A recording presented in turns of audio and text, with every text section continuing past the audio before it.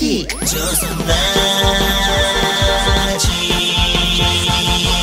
さあ始まりました「ジョソラジ」女装パフォーマーブルボンヌが色とりどりの皆さんとご一緒に耳で楽しむバーのようなネットラジオへ。ようこそ。この番組はスタート・ユア・レインボー株式会社キャンピーの提供でお送りします。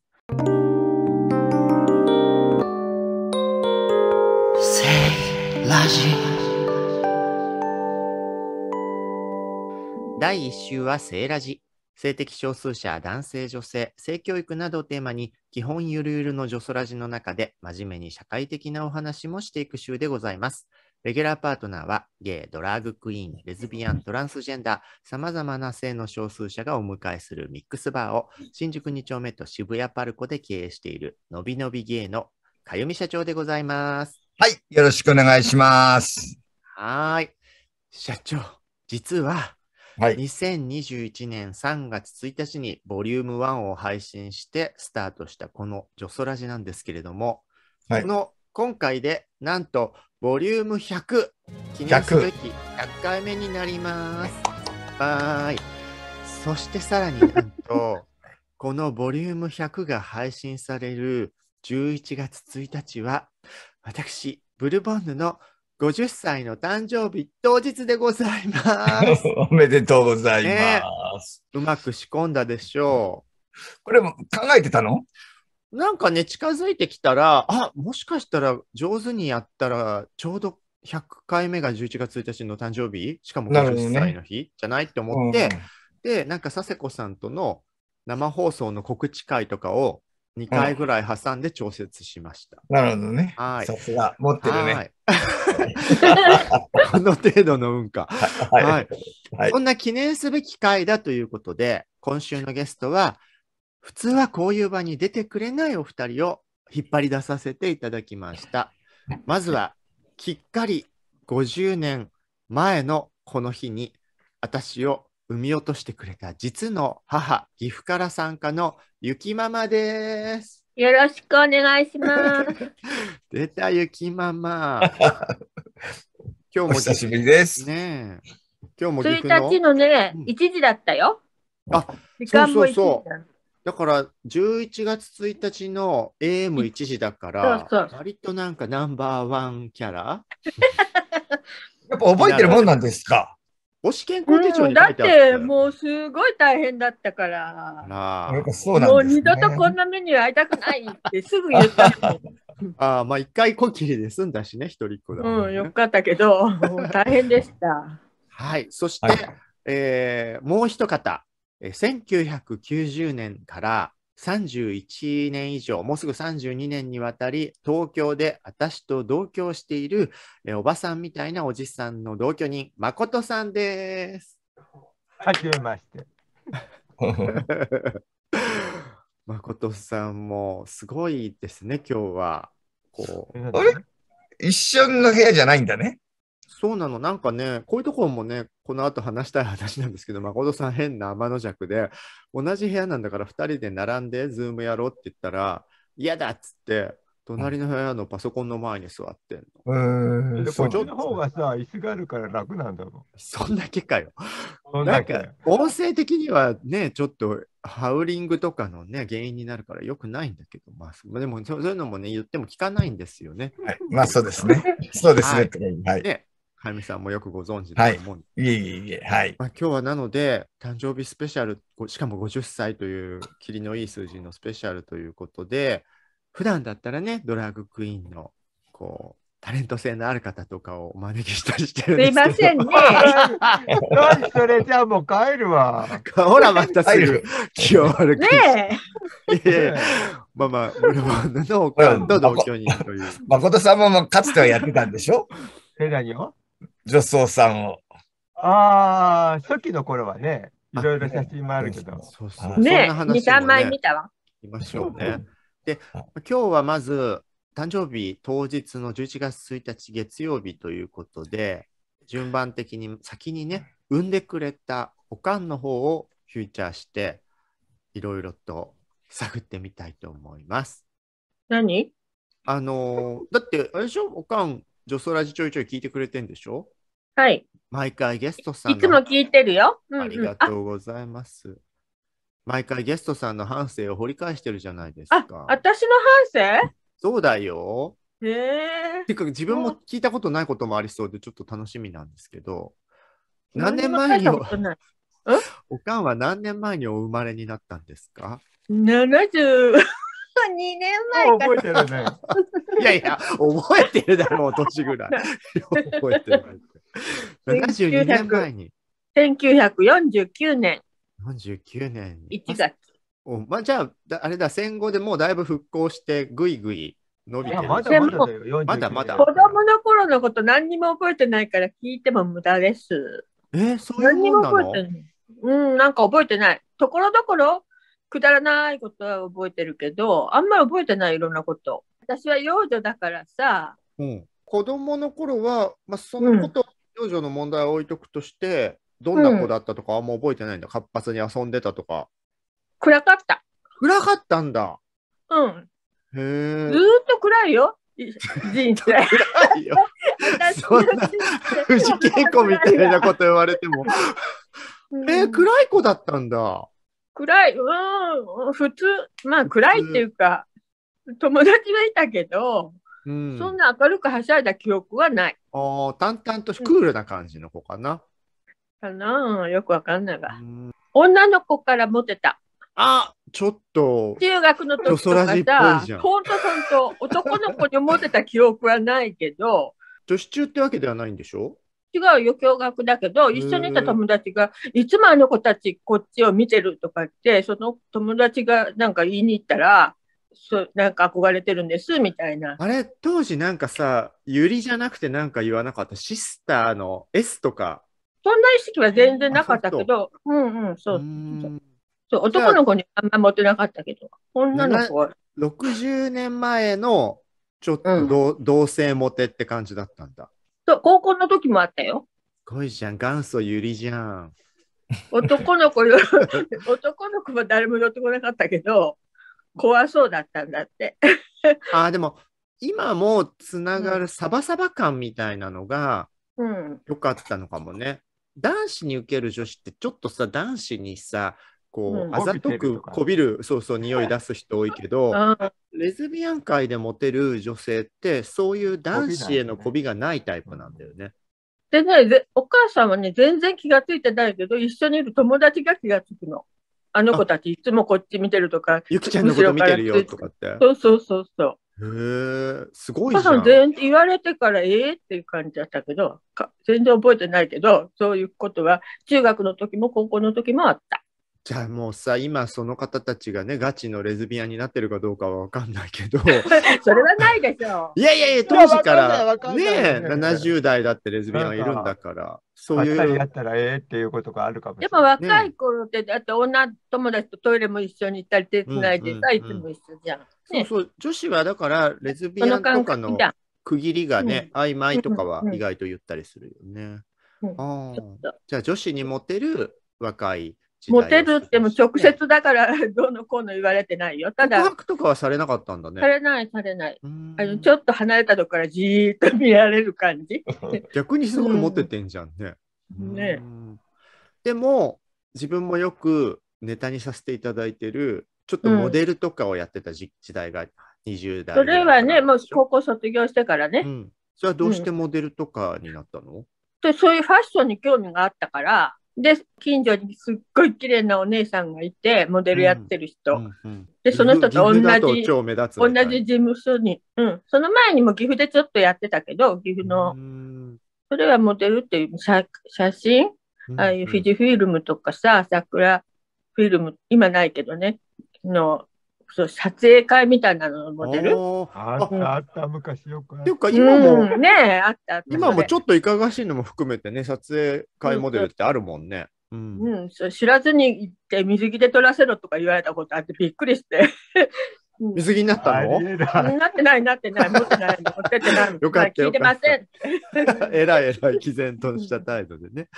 あーで、そこから、じゃあモデルやって、自分もなんかね、家にあった長良川のパンフレットみたいなのに、おかんああが、、そうそう、ロケに行ったりね、うん。あそうですよ。けどもねあんまりうちの母モデルですよイメージしてたのファッションが好きで なったやつだから、イメージしてた仕事と違うじゃんね。確かに、地方の観光パンフレットのモデルって感じだった。そうそうそうそう。チラシとかさ。背が背が足りないからファッションモデルは到底無理だ考えたら。あと、ランウェイとか狙うなら岐阜に行っちゃしょうがないわな。そういうのもやったよ。でも、あの、岐阜の柳ヶ瀬の商店街がね、月に1回か2ヶ月に1回そういうファッシいやでもやっ自分ぱファッションたちのモデルだと服を着せてファッションショー。よね。あうん身長ね。うんあ、でも、柳ヶ瀬のファッションモデルはしてたんだ。いやそうなんか柳ヶ瀬の商店街がね、何軒か集まってね、なんかそういうファッションショー、自分家の服とか。で、そういうモデルをやってた流れから、あの、ちょいちょい自慢させていただいている 11PM ガールズの話が来たの？そうそうそう、このモデル事務所、入ってた事務所にお話が来て、そうそう。で、オーディション行ってくださいとか言って、そうそうそう。そのネタを使わせてもらうと、大体ちょっと年いってる人は、ああ、あお母さん 11PM ガールズなの？ってなあ、るもうやめてほしいわ、恥ずかしい。いやいや、美味しいネタいただきましたよ。シャバダバ。まあ、誰もが知ってるもんね。ねえ。シャバダバ言ってたわけじゃないんだけどね。うちの母はシャバダバ言ってましたって言って。ううんん、自分が見せてもらった写真だと、11PM のスタジオで並んでて、なんかアイドルでいうところのちょっとちょっとセンターポジションっぽいのおかんが。ああセンターにはい、いるけど、別に意識してそんなの思ってない、たまたま。いやいやいやいや、本人は意識してなかったかもしれないけど、両脇の女とかは絶対意識してたから、センター取られたって。そうでもあれ 5人いたけど、1人一番可愛かった子が、なんか週刊誌のスキャンダルになって、2回ぐらい来てすぐ来なくなっちゃって、だんだん減ってって、最後1人になってたみたいよ、1年後は。え、一人になっおてた。母さんあ、もっと中でやお母さん。もあなたはお腹の中にできちゃったからねそのちょっと前に辞めたでしょ。あ、そうだそうだ。11PM そうそうガールズやってる最中に自分を妊娠しちゃったそう、お。腹の中で出演してたの。やばい。私、根っからの深夜帯女じゃん。その時は結婚してたんですか？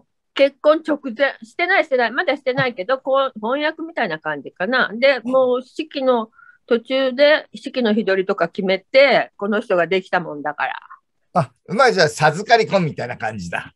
そんな綺麗に言わなくていいの。できちゃった子です できちゃったできちゃった子。できてた子ではないよ。わかる？あ なんで？妊娠が分かる前にもう結婚のあの日取り、日取り決めてたもん。で、それからちょっとしてから妊娠してることが分かっただけで、できちゃったあそう子なんだね。が違う。あ、なるほどね。あ、じゃあうん、一応生まれる前には結婚できた。そうそう、結婚の日取りとかは決めてあった。うん、じゃあ 11PM ガールズとかと並行して、あの、ろくでなしの父親と知り合ったの？そうそう、バイトでスナックみたいな生バンド入れたあれのキャッシャー、会計係で入ってて、会計のところ別にフロントがある結構立派なとこがあって、そこであの人たちはバーバーテンダーみたいな感じで入ってて、でキャッシャーのバイトをやってたんだ。そうそうそうへそう。ーそこだと、だからあの別に喋らなくていいじゃん。受付だけして、そうそうそうそう。中で接客はしなくていいみたそいうなそうそうところで、そう。うん。ちょっとそこでバ美人イトして受付嬢的な。うん、そしそしたらさ、あのやっぱりちょっかい出してくるやんね、男の子たちが。まあね、まあまあ可愛い子がいたらね。そうそう。うん。なんか飲み飲み物持ってきてくれたりとかさ、うんうん。で、知り合ったの。で今までにないタイプで、初めて聞いた。今までにないタイプだったの？うん、あのワイルドなタイプじゃん、あの人。そうそう、あのね、うん。写真はね、社長とかにも見せたと思うんですけど、今残ってる写真を見ると、いわゆるゲイにモテそうな、ちょっと男っぽいひげのお兄さんなそう、んですよ、そうですね。そうだね。男っぽいタイプ。で、お母さんの周りにはそうああいうタイプいなかったから、やさ男系が多かったんだ、ジョー・ミチルみっていうか、たいな。うん、そうそう。どっちかっていうと、そうそうそう、普通のね。うん。あじゃあ、そのちょっと違うタイプのワイルドなのに惹かれるっていう、うん、少女漫画によくある設定じゃないの、それ。ででお母さんね実践がないもんで周りから言われるとそれで流されるタイプでしょあ、だからぐいぐい来られたんだ。そうそうそう、うん、なんかぐいぐい来そうだよね、あのおっさんね。で、あの人に限らず、そうやってわーっと来られるとお母さんその気になるタイプだもん。いい加減な生き方をしてきたんですが、あなたには悪いけど。そうそう、でも、なんかやっぱ、推しに弱いタイプってどんな時代もいるよね。うんうん、おかんは言い寄られて、その中でまあいいかなと思う人と付き合うそう。そうそう、そういう感じ。うんそんだけね、いいよってもらえる立場にいるから、それ選べるんですよ。これうんまあそうそうだね。選ぶほど選択肢はなかったけど。今聞いているね、あの、ま、ま、待ってるだけじゃどうしようもなかったんだよって思ってる人もいるよ。ああ、そりゃそうだね。そうそう。あの業界用語でマチコって言うんですけどね。かゆみさんもでも自分から手出す方だもんね。まあそうね。うん。ね言われたことないな。え向こうから来たことがないってこと？こっから先にあ来る前に来る前に自分が言うってこと？もうもうもう、そう、あそうですね。僕は言われることないかな。なかったかそもも。そも、えー、で、ま、真反対だ。私、一回もない。自分から言こったこっちから言っとないんだ。たこと。うん。へーまあ言われたことあるのは女の子からはあるかな。あ、あーはいはいはい。女の子からはあるけど、だってそれはかゆみさんから言うはずがないから向こうからそうそう言うしかそうそう、ないな。まあそうね、そうね。でもね、女の子から言われるタイプ、パターン大体決まってて、オタクっぽい女の子から言われることが多かった。へーへー暗い子から言われること多かっ暗い子から。た。すみません、オタクと暗いっていい、いいあれ、ダメだったらカットしてください。明るいオタクも最近はね、多いですけど。へーそうそうそそっか、おかんはじゃあ常にこう受け身のマチコで、でそこにイケイケのあの死んじゃったおとんがつけ込んでそうそうそう口説いたわけね。本当にの好みが自分でもよくわからない。本当はきちんとしたイケメンが好きなんだけど、そうう。いう人は周りにあんまりいなかったな、付き合った中には。でもほら、ちょっと前にね、亡くなっちゃったけど、長年のパートナーだった方は、まあまあ、きちっとしたイケメンじゃないの？そう、私付き合ってた時からこタイプではなかった。だから別れたんだと思うよ、若い頃ね。若い頃も付き合ってたじゃん。県議賞時代？県議所、卒業してから。そうだったんだ。へんーあの、大体ね、二股なの、お母さんも。え、おかんが二股かけてたの？あの、高校時代から付き合ってた子はいたけど、友達がななんか紹介したいからとかって言って、で一回会って、会ってみてとか言われて、会って付き合ってたけど、今付き合ってる子がいるからそんな紹介無理無理って言わずに、あ、じゃあ会ってみようかなって会ってたんだ。そうそうそうあ、じゃあうん血筋ですわ、気象は 血筋。なんかさ、考えたら、絶えず二人いたわ。とりあえず二人いただってありがたい話だね。あそうだね。ーなるほど、ね。だか、ら、これっていう好きになった人はいないってことよ。うん、すごく好きな人は誰もいない。そんなこといや、あれですか、なんか胸が熱くなって、こう、恋焦がれるみたいなことはないあ、ないないない。ない。あでもその男が浮気すると、やきもちは焼くけれど、うんそだから前も言ったけど、その人が好きで焼いてるんじゃなくて、自分のものを取られて悔しくて怒るっていう感じ？あじゃあ嫉妬心は知ってるけうんど、うキュンキュンの恋心は感じたことがあんまないんだ。ないね、あんまりね。へえ、そうなんだ。あ。僕もあんまないな。うん。ねえ 何その冷たい二人の心配性。そうそう、本当に、そんなキュンなんてなったことないわ。じゃあ、そんなにキュンともせず、うん。おとんとやって、うん私が生まれたわけです、ね。まあよかったけど、あんた、せめてあんたが残って。ね、こんで何にもなかったら私の人生何なのになっちゃうでしあょ。まあね、ねよかったわ、産んどいて。面白いキャラが生まれてよかったよね。うん。うそう自分の子供の頃とか生まれてからの幼児時代とか覚えてることある？自分も実はそんなに覚えてないんだよね。ちっちゃそういったね、ほあのちっちゃい頃からね、溺れかおお風呂で溺れさせかけたりとかね、お風お布団よじ溺登って 道路に落ちかけたりとかね、あそういうのは覚えてる。あの、うん、私がね、覚えてるのは。自分が危なっかしいのか、おかんが目を離して見てないのかいい加減なのか。だってほんのちょっとの一瞬じゃん、子供って、ハイハイして、ピュピュピュと登ってったりとかさ、お風呂はね、あのだから私がシャンプーしてる間に、捕まり立ちしてたら、姿が見えないって言ったら手が滑って、中に入ってる。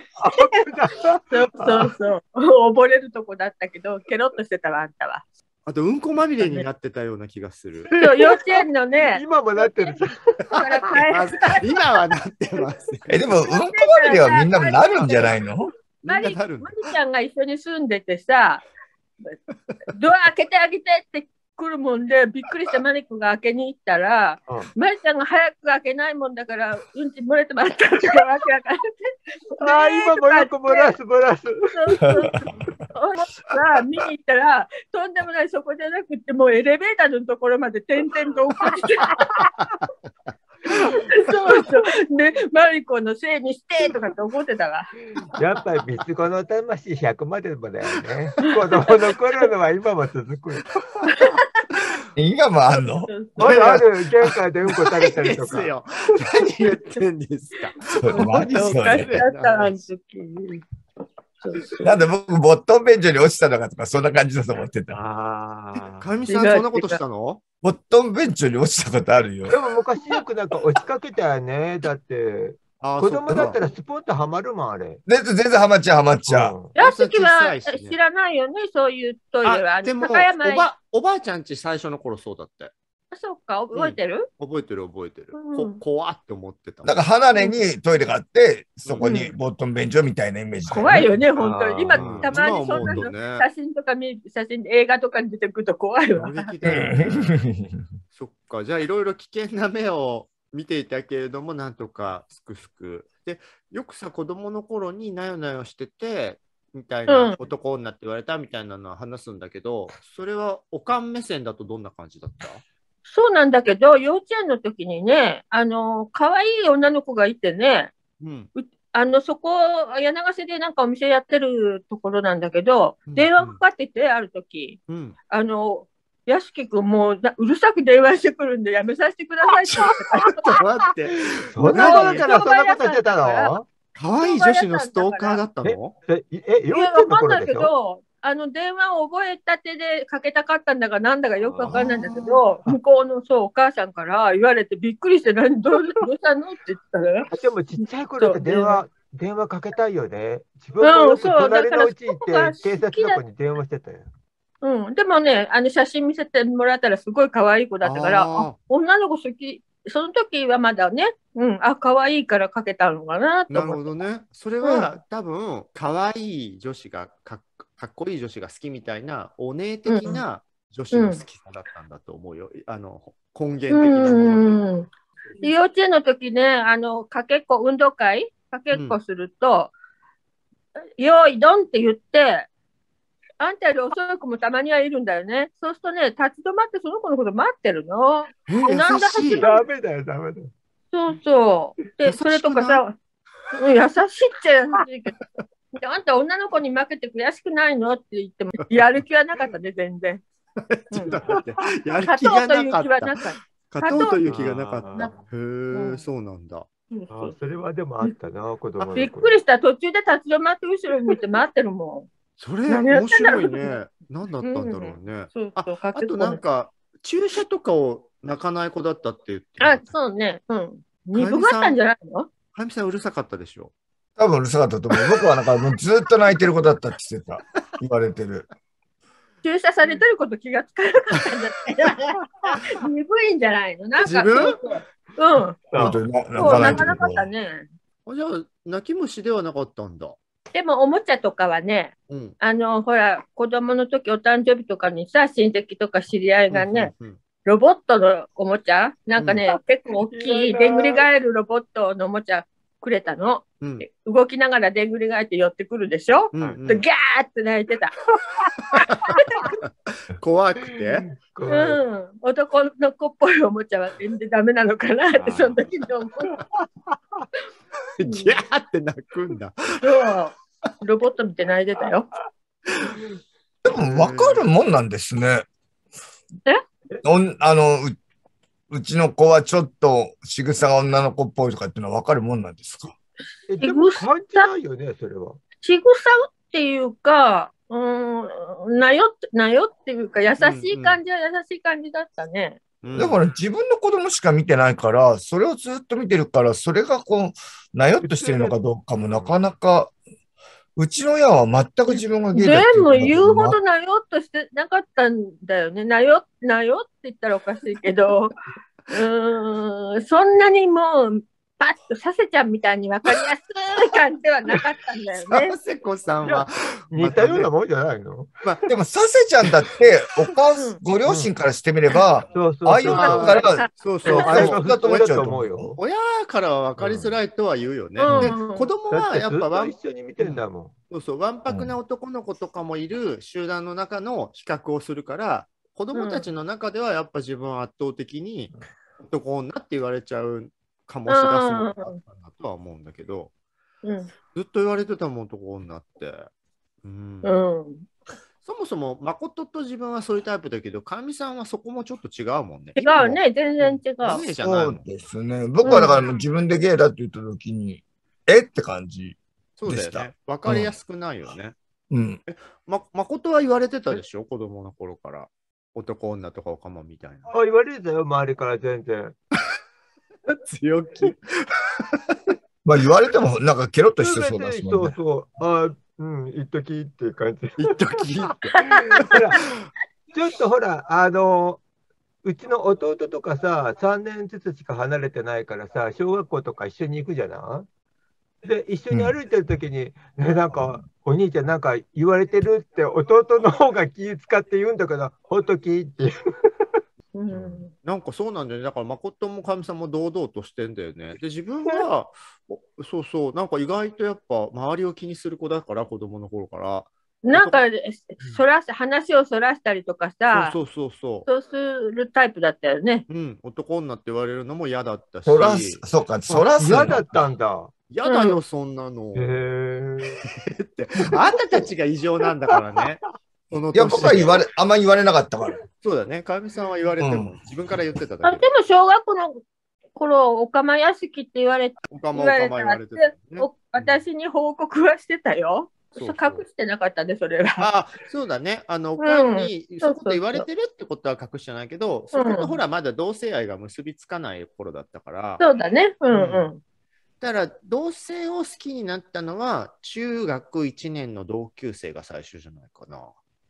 覚えてる？いなんか、気に入った子と一緒に旅行が行きたいって言ってさ、あのパソコンのツアー行ったの、あれそうなのあの子のこと好きだったの。うん、可可愛かったでしょ？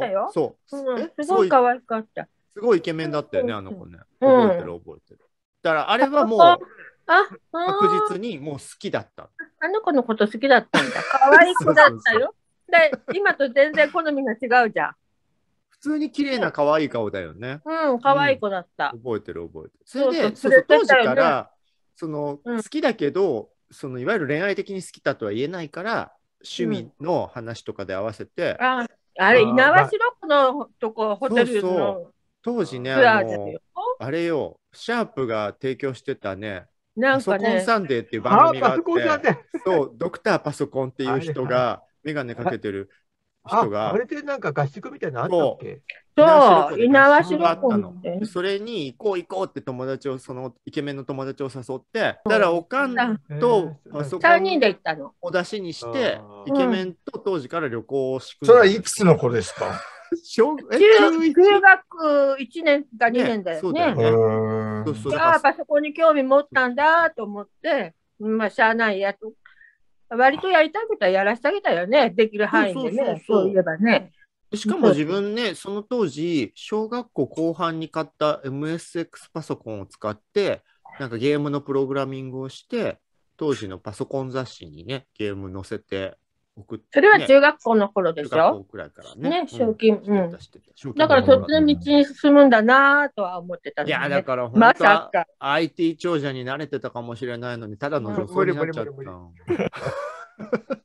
まあ、あなたはその業界から離れるのは絶対無理だもんね、お仕事がね。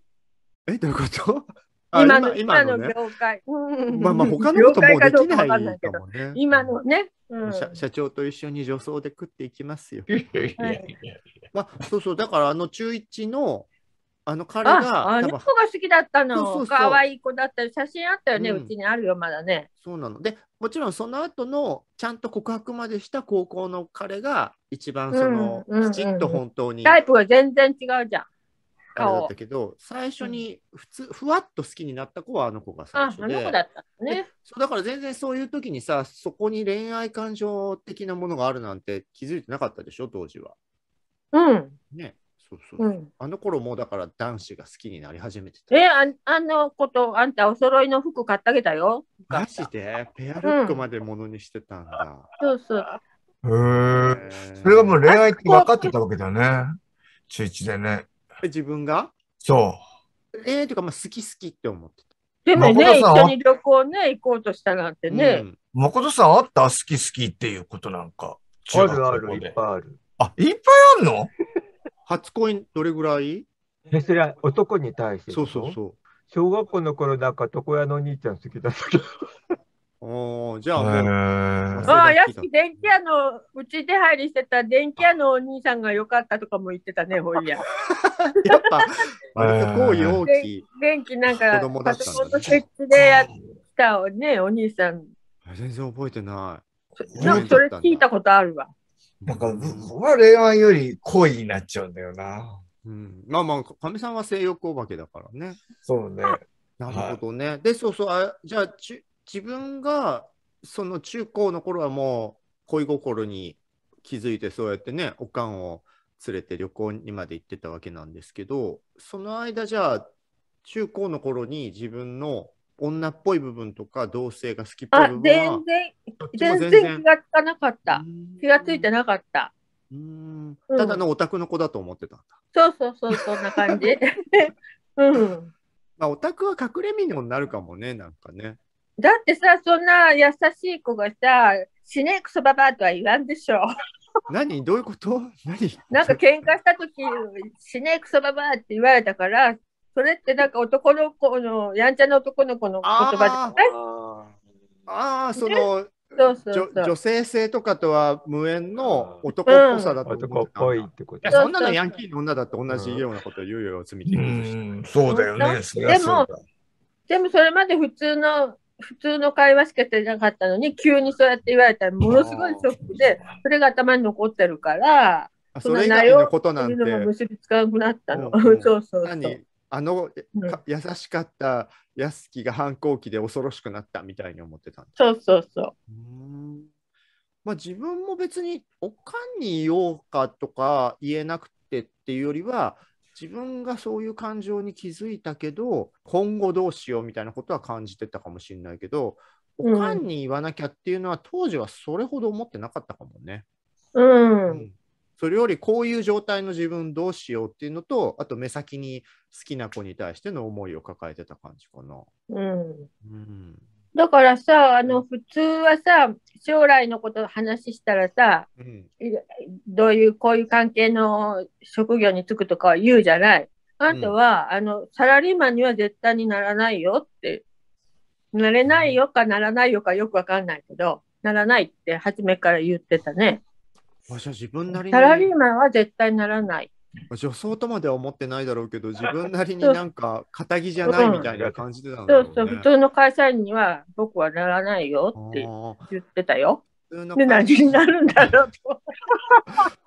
立派な女装になったじゃないですか。そうだから、その頃パソコンとかいろいろやってたから、あー。あ、それこうんそ IT 系かなみたいあな。そうそう、そっちに進むのかなって、そのちょっと前は漫画家になるのかなとかさ、ああ、漫画もやってたね。ま漫画すっごい書いてたから、一生懸命。ね、パソコン通信のゲーネットをやりの、あのーまあ、漫画も芸雑誌で連載しので、全部実際に仕事にもそうだね関わってはいるんだけど。ね。うん。なるほどね。で、じゃあそこからもう急にさ、大学入るときにパソコン通信で知り合った一回りも上の誠と同居するって聞いたときはどうだったの、ねえ。あの時なんだ話じゃん。そうそうそう。うんそう、そもそも本当にあの、受験の日ですよ、誠と会ったの。初めて会ったの。そうそうそうそうそう受験の前日ですよ入る前だもん。受験の前日で、お母さんホテル、東京のホテル取って、で、もう大丈夫かなって思って9時ぐらいに電話してみたら、様子伺いに、明日試験だよ。試験。その日にさ、そしたらホテルの人がさ、そう、いらっしゃってませんって言うから、あの頃もう連絡の取りようないじゃん、携帯あるわけでもないし、何もないああ、。そうだよね。電話しかそう、ねえ、ひどいよそうね。ね。そうそう。でそうそれ何全然連絡してなかったの？受験パックのホテルに行かずに、は東京で待ち合わせてた誠の家に泊まりに行っちゃったんだよ、受験の前の。そらそらそれでいいけどさ、連絡普通するよあね。ねえねえって誠もちゃんと親にだってそ、そ、そそんなことだって聞いてないもん。聞いてないけど、あんただいぶ年上なんだからさ、うちにちゃんと連絡してあるのぐらいなだってそれぐらいだってもう、だって大学受験の子がさ、自分でできるでしょうと思ってるじゃない、こっちだって。っていうかさ、ちょ、あの、受験前日に呼ぶのもどうなんだろう。本当だよね。悪い大人だわ。あ、でもその呼んでないやん。あってから来たに決まってるやん。わざわざ呼ばないよ、そんなの。まあまあじゃあで試、験受けてよく受かったわ。本当だよね。よく受かったよね。そもそもさ、大学早稲田に行くっていう選択することもお母さん、えって思ったんじゃないのいや、えだから、あの、明大、明大が本線だったから、早稲田は、あの、卒業旅行代わりに東京行きたいって言うから、だから名古屋大学でいいんだけど、私はいいんだけど、うん。この人が東京行きたかったでしょ、きっそうと。そう。うん全然東京行きたかっただから、もう受かったら、もう早稲田行くつもりになってたから、仕方ないじゃないですか。まあ確かにね。お金かかるけど。確かにうね、ん学費のこと考えたら申し訳ないことを本当この人ね、親のそういう金銭的なの大丈夫かとか一回も考えたことないと思うわ。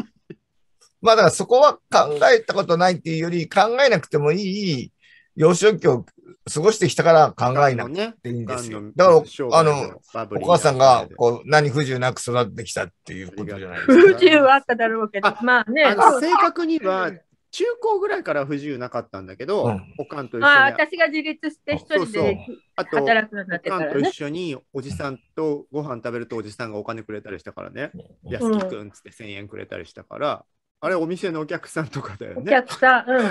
そうそう。で、でもその前よ、小学生の頃はろくでなしの父親がいたから。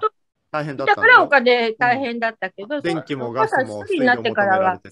うん、一人になってからは大丈夫だったよね。そうそう、ん隣のだからそういう目もしてんのに、大学のほほーんとバイトもそんなにせせずに行ったところがすごいわと思って、この人確か。にね、極貧生活も味わってるけど、あったらあったでえー当たり前のように使わせてもらったってことだね。うん。バイトもしたことないの？いや、してたけど、家庭教師とか防してたよぐほどはしてないね。うん。まあ言うほどはしてないかも。家庭教師してたんだけど、うん家庭教師ああ、多を分なんかやってたね。ちょっとだけね、やってたね。そしたらやってた、やってた。教えた子がね、なんか割と頑張って試験前だから、あの家庭教師の回数増やして頑張ったんだけど、テスト終わって、はい、結果教えてって言ったら、0点のと思ってきて、0点ってのび太くん以外でも取るんだって思って、で、お母さんに、ごめんなさい、あんなにこう入れていただいたのに、こんな結果だったので、もう自信ないので、ややめさせていただきますっつってやめたの。ね。そうそうそうそう。そしたら、うちの子見捨てないでくださいって言われた。0点はなかなかないよなよかったよね。うんまあまあ早稲、田とかの学生だとバイト料よかったでしょ、あの頃。そうね、じ大学生にしてはいいバイト代だったよね。うん。ねかじゃあ、それで東京出てしばらくしてからも、なんだかよくわかんないけど、不思議なネットの縁で、一回り上の同居人と過ごしてるけど、そうそう。でも、うん。あのね、その頃からもうね、ひょっとしたらっていうのはね、あったみたいで、お客さんとよく喋ってる時にさ、うんあの、息子はまあ学校卒業したら戻ってきてお母さんの面倒見てくれるわ、とかって、お客さんが言って、いや、全然戻ってこないわ、とか言って、それにうちの子はあっち系かもっていうのがで、会話にあったってことは、頭の中では思ってたかもしれうない。すうすはちょっとうんそうかなぐらいには思ってたのね。それでさあの頃は、あの、ゲイとかって言わずに、あおかまっていう言葉使ってたでしょ。うんうんうんうん、あの、ゲイバーでもおかまバーとかって言ってたからね。うん。それであんた、大学生の時、一回帰ってきた時、ご飯食べてる時にさ、聞いたの。うん。ひょっとしておかまちゃんなの？って。ひょっとしておかまち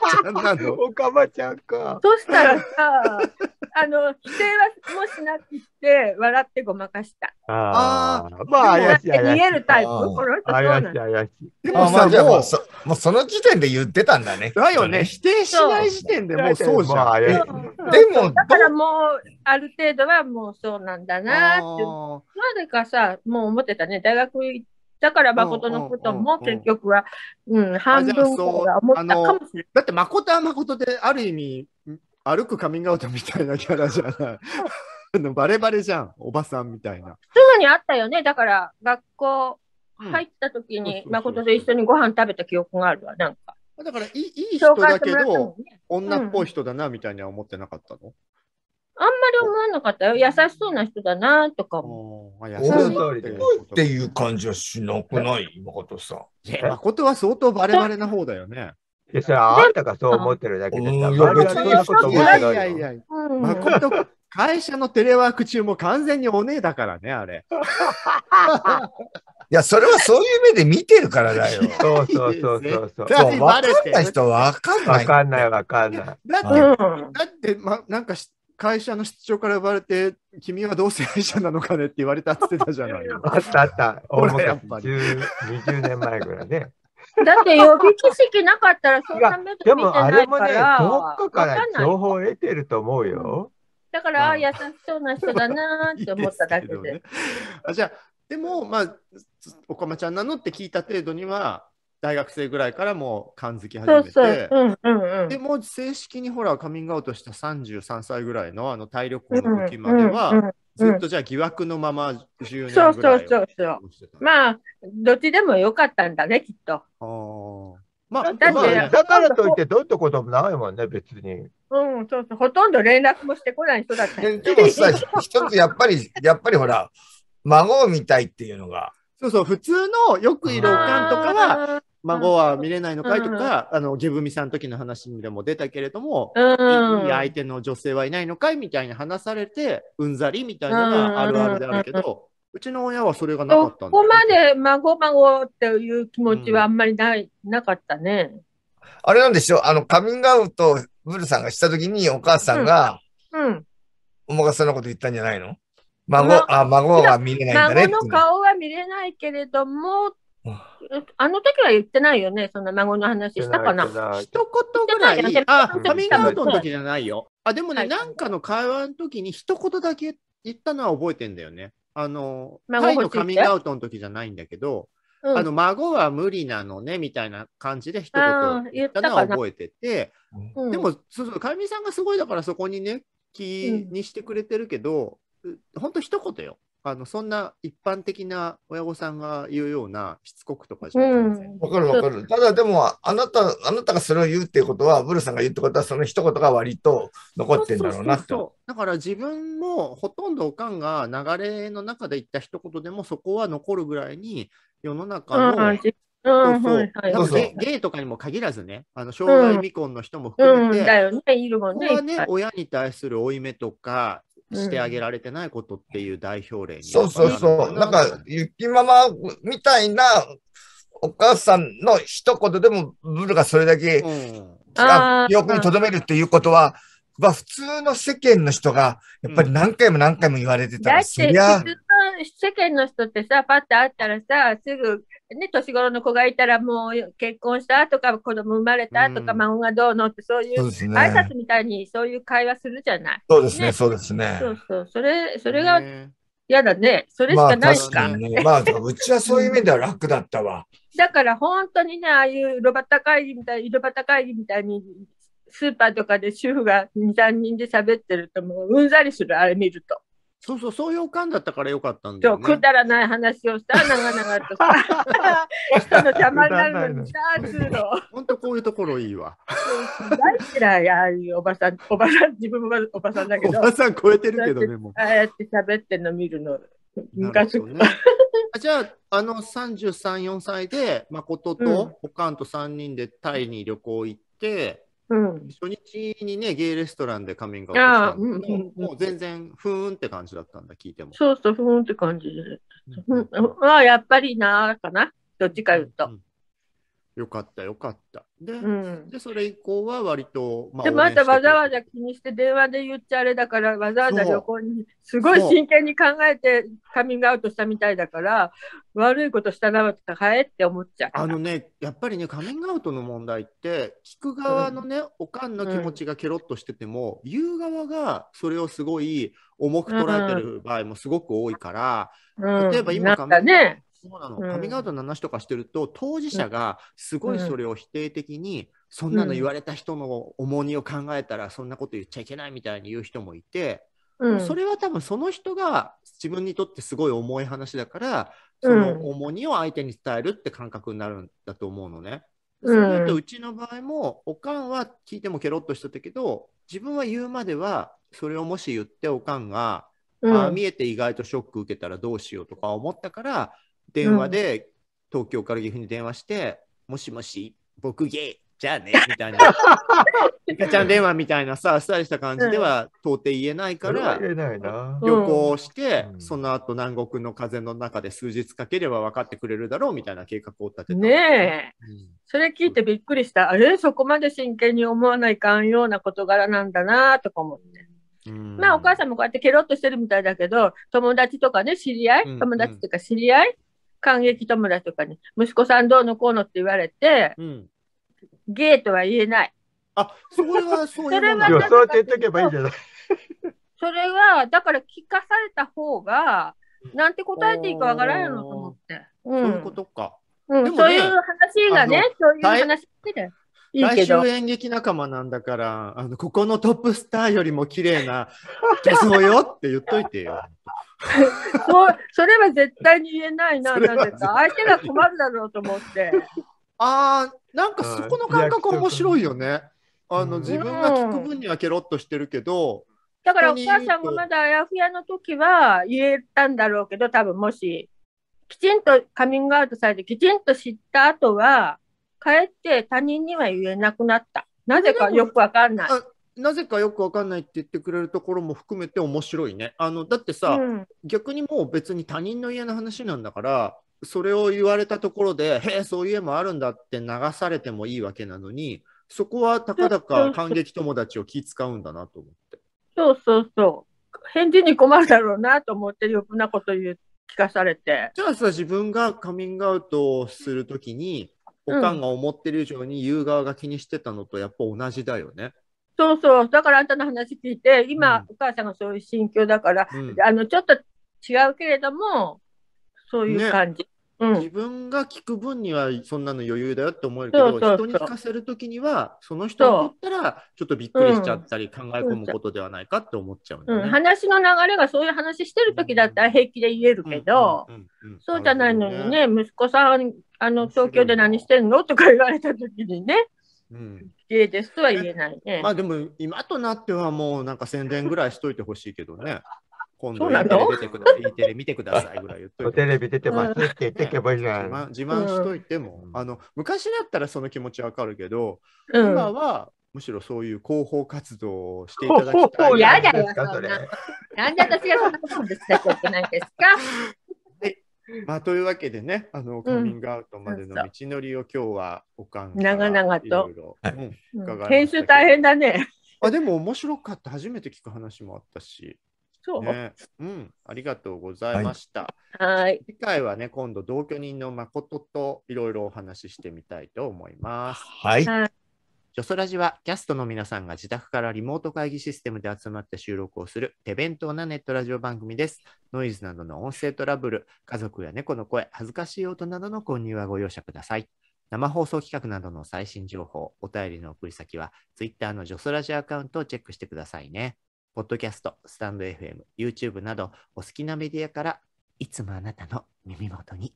それでは次回もお楽しみにありがとうございます。ありがとうございます。はい、長々とすいませんでした。